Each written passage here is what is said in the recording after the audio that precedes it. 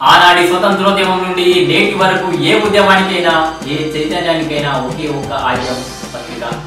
శక్తితో కానిది యుక్తితో కత్తితో కానిది కలంతో చేయవచ్చని గ్రహించారు కనుకనే ప్రతి ఉద్యమకారుడి ఆయుధం జర్నలిజం అయింది ఏ దేశంలో అయితే పత్రికలపై ఆంక్షలు అణచివేతలు ఉండవో ఏ దేశంలో అయితే పత్రికలు స్వేచ్ఛగా తమ పని తాము చేసుకోగలుగుతాయో ఆ దేశంలో ప్రజాస్వామ్యం పటిష్టంగా పత్రికొక్కటున్న పదివేల సైన్యం పత్రికొక్కటున్న మిత్రకోటి అన్నారు నారా వెంకటేశ్వరరావు గారు. అంతటి ప్రాముఖ్యత గల ఈ పత్రిక. తోటి జర్నలిస్ట్ మిత్రులందరికీ పత్రికా దినోత్సవ శుభాకాంక్షలు.